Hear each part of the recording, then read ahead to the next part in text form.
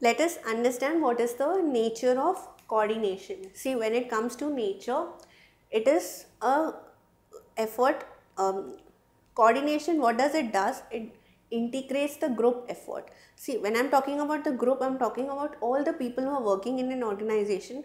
Now, we have to ensure that every person is following that organizational goal, is making efforts in achieving that organization goal.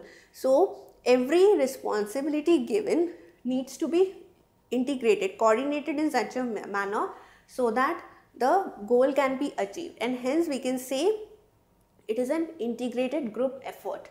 See, it ensures unity of action among the various members of the organization. So, their action is synchronized in such a manner that the organizational goals are achieved.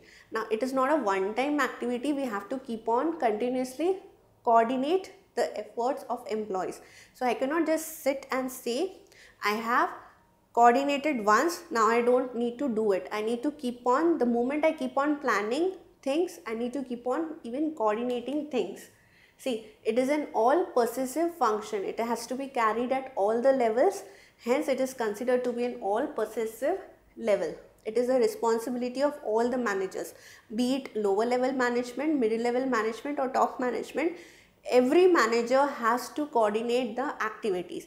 Depending on the level, the coordination activity would, dip, uh, would be different. Okay, so what you need to do is that suppose it is a top management, they will coordinate the activities of the middle level management. The middle level management would be coordinating the activities of lower level management the lower level management would coordinate the activities of the workers which are working under them. See, it is a deliberate function because the goal is that whatever are the targets we need to achieve those, whatever the organizational goals are, that is the aim to be achieved and hence it is a deliberate function. See, for an organization to be effective and efficient, we already have understood what is effectiveness, what is efficiency. We require coordination okay? It is just like a thread in garland. Now you remember when you see a garland what happens? They are all synchronized. All the flowers are synchronized in one manner so that the garland is made. So what is the common thing between all these flowers? That is the thread which is running through them.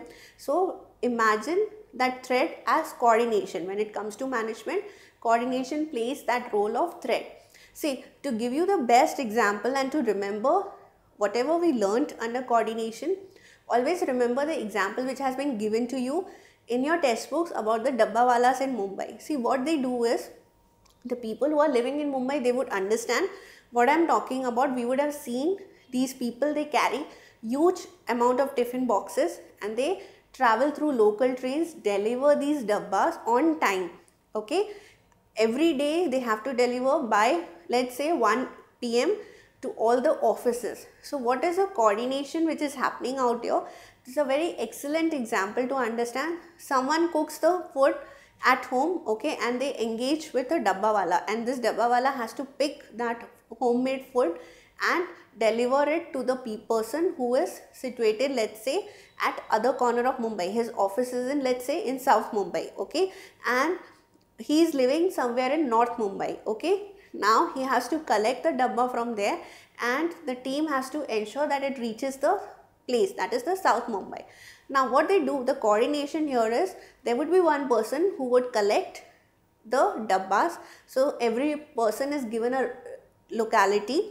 Let's say in North Mumbai there are seven localities. So there would be seven dabbawalas or maybe there would be two dabbawalas who would be collecting the tiffins from those seven localities. Then they meet at a center point wherein all the dabbas are accumulated whatever has been collected from different areas in Bombay they are collected. From there there are people who would distribute these dabbas so that the person to whom it has to reach has been reached. So, just like as I told you, like for example, for collecting the dabbas, there were two dabbawalas who are collecting from North Mumbai.